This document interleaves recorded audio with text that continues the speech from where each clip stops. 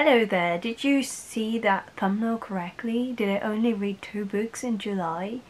No, no.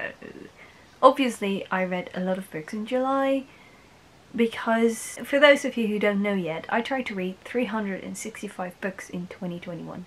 My name is Mirjam and I thought this would be a fun challenge and technically I think I already read 365 books in a year because almost a year ago I decided I would do this challenge in 2021 and when there were like 100 days left in 2020 I still needed to read like 100 books. So technically I've already fulfilled my challenge but obviously this is about the 365 books I tried to read in 2021 and I used to make a weekly wrap-up video every week up until this second week of June, but then I decided it took me a lot of time and energy and I did not have that back then. And um, by now I think I do have the energy, but I still don't feel like it, so I'm not doing it. Uh, instead I do a monthly wrap-up video. I did not do this for June because I filmed like half of June Uh, as a weekly wrap-up video so I decided I would make monthly wrap-up videos. In these monthly wrap-up videos I won't tell you about all the books I read in a month, I won't tell all the books. I just mentioned how many books I read, I will highlight a few and I will tell you about my greatest disappointment if I have it and about the non-fiction books I read and hopefully that will sort of wrap it up. In total I read 34 books in July and I'm sort of amazed by it because now I am definitely ahead of the challenge because today it's the 2nd of August and I've already read two books in August as well so I'm still ahead. I'm so happy about that. But um, on the other hand I have to admit I read a lot of novellas in July so I read as much pages as I did in June so I don't know whether that's a really good thing but still I read 34 books and the first book I read was The Long Highway Home by Elizabeth Musser. I don't know how to say her name, I'm sorry, but it was such an amazing book. Um, I had to, well at first I wasn't too happy with the writing style because uh, she uses a lot of point of views and uh, uh, three of the point of views are written from first person perspective and the other point of views are third person perspective and that confused me at first but the story was so great so I do not really mind about that. It's about an organization called Transworld Radio and they uh, deliver the news of the gospel all over the world in areas where missionaries can't get missionaries. That was actually the word I was looking for in my previous video, in my TBR of August video. But, um, um, and actually one of my best friends is going to work for Transworld Radio and that makes, I, I don't know, that makes it so much, uh, yeah, that makes reading a book like that so much more interesting if you know someone who's going to work for that organization. Actually, in the book, it's not called Transworld Radio, but it's a fictional organization that was based on the work of Transworld Radio. The second book I really enjoyed as well was You Don't Know Me by Susan May Warren, the sixth installment in the Deep Haven collection. I've finished all the Deep Haven books now and I'm off to a new series by Susan May Warren. Um, I really enjoyed this book. It, The storyline was amazing. It's about uh, a woman who's been in witness protection for over 20 years. Um, and then suddenly the guy where she testified so he got locked up. He escaped from prison or something like that. And he actually has an idea where she might be because her husband is running for major and stuff like that. It's I th thought it was such a great book. Um, this, the characters were really interesting and they, um, I don't know, I, I just, the mixture of romance, um, the thriller elements, not really thriller elements, but that there was some, there was some, something deeper to the storyline and I immensely enjoyed it. So uh, yeah. Another book that was also an amazing book. Is a book and I can't pronounce the original title because it's a Swedish book by Fredrik Backman but every morning the way home gets longer and longer. I believe that's the complete title. It's really long and uh, I read this book in Dutch which was my first Dutch experience with Fredrik Backman's books. For some reason I always read his books in English and um, it was amazing that's all I can say. No, it it's a very it's a, actually a novella. It's really short, and uh, it's about dementia and or Alzheimer's. I don't know, something like that. And it's beautiful, and everyone should read it. Definitely. I was able to read this through my library because I got a library subscription again, and I was so happy I could read this book. And yeah, this is definitely everyone should read. Another book I really enjoyed, I read the book in Dutch, but I can't remember the English title.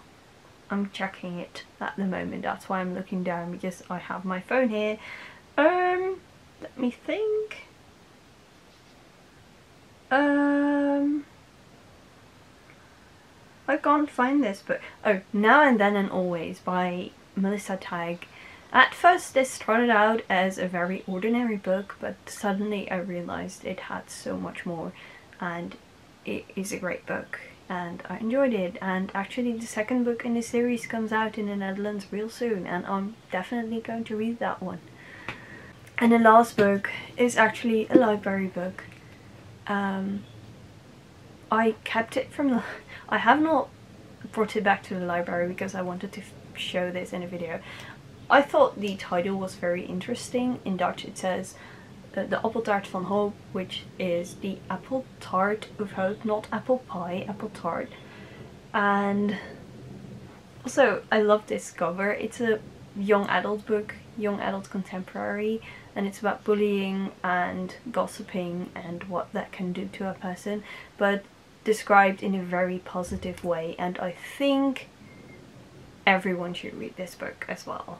It was a heartwarming story. It has, spoiler alert, a happy ending and that I think definitely made it much better as well. And yeah, you should definitely check this one out. So these were my top five of the fiction books I read. I read four non-fiction books. Um, the Cost of Discipleship, Why We Sleep, Atomic Habits and uh, a Dutch book called Kinderboeken schrijven, which is how to write children's books.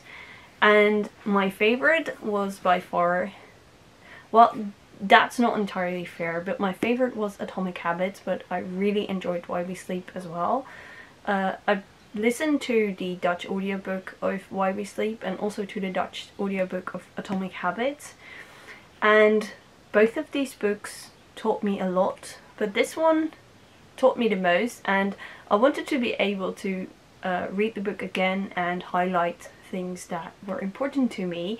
And therefore I got my very own copy of Atomic Habits in English because I like the original language of books. And the reason I did not get Why We Sleep and why I probably won't get it is that I think reading Why We Sleep the first time is good enough. I know the importance of sleep. I'm doing a very fun experiment with it, which you will see more about in the future. But I don't think I should have that book and read it again and highlight things. I got a lot from the book, but that was enough. So that's why I did get a copy of Atomic Habits, but not a copy of um, Why We Sleep.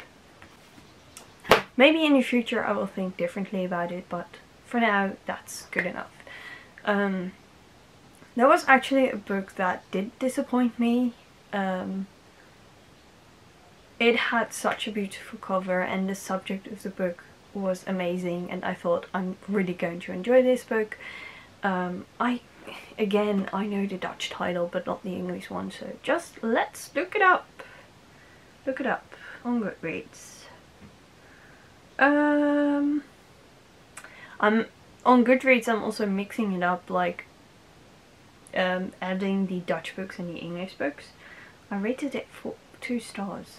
That's a lot.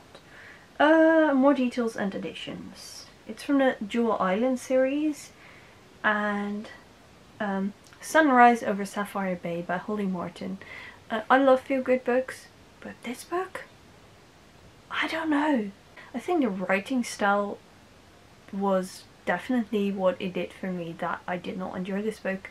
Uh, it was very repetitive. Things were said like four to five times and you were like, and I was like, why do they keep on saying this? Because I was listening to the audiobook so I think then you notice it more if things are repeated.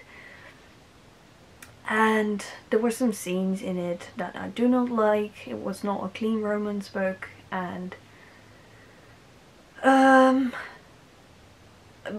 the idea was really good. I mean about three sisters who take over the family hotel business thing and try to put it back into business. I really liked that idea but the way it was done was simply not good enough for me. So um, yeah, that was my disappointment of the month. Is there anything else I should say? Or is this just... I think this is quite a clean wrap up video. I hope you enjoyed this video. Uh, I hope you enjoyed this new concept of me doing monthly wrap-ups instead of weekly wrap-up videos. I understand the weekly wrap-up videos were fun because I could talk about each book into, in detail, but uh, I hope you think this is a good substitute. Let me know in a comment what was your favourite book of July and uh, if you're not a subscriber yet, yet of my channel and you enjoy this type of content then please subscribe to my channel and as always, happy reading.